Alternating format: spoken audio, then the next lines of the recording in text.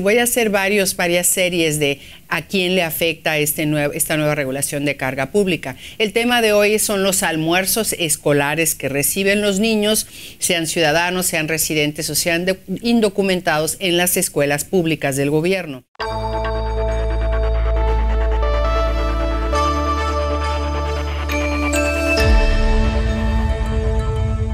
¿Qué tal amigos? Bienvenidos. Yo soy la abogada de inmigración, Alma Rosa Nieto. Gracias por su sintonía. Por favor, compartan. Hago estos videos con muchísimo gusto, varios a la semana para ustedes. Es mi meta, es mi mi promesa desde que empecé a hacerlos, y yo creo que ya llevamos más de 100 tips de inmigración, es el educar y el ayudar y empoderar a, a mi comunidad inmigrante. Así es que por favor compartan esta información.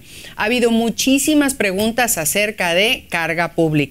Como saben, la semana pasada se anunció que las regulaciones se implementarán, quiere decir que en el futuro, el 15 de octubre del 2019 posiblemente haya litigio en las cortes y hagan un alto a que se implemente este cambio que afectaría a cientos de miles de inmigrantes que quieren recibir la residencia permanente.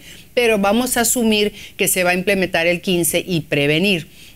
Me hacen preguntas y voy a hacer varios, varias series de a quién le afecta este nuevo, esta nueva regulación de carga pública. El tema de hoy son los almuerzos escolares que reciben los niños, sean ciudadanos, sean residentes o sean indocumentados en las escuelas públicas del gobierno.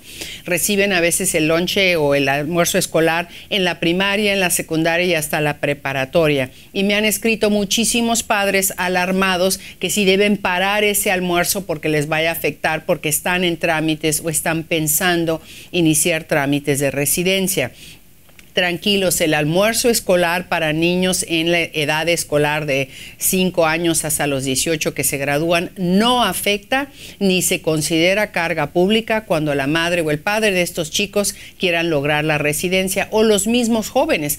A lo mejor un niño hoy de 15 años recibe almuerzo escolar y en el futuro se casa con una ciudadana americana y cree que esta ayuda le va a afectar cuando ese niño sea adulto y se quiera ser residente permanente. Afortunadamente no no, afecta, entonces no paren este programa perjudicando a su, la salud y el bienestar y la nutrición de sus niños, ni su bolsillo, porque no le afectaría para hacerse residente permanente. Por favor, de nuevo, compartan esta información. Sé que hay mucha información equivocada en este ramo, no que yo tenga todas las respuestas, pero lo que les cuento aquí es porque ya lo he estudiado, ya lo he leído y sé que es algo que les beneficia y que es lo más cerca a la verdad que nos están dando estas regulaciones.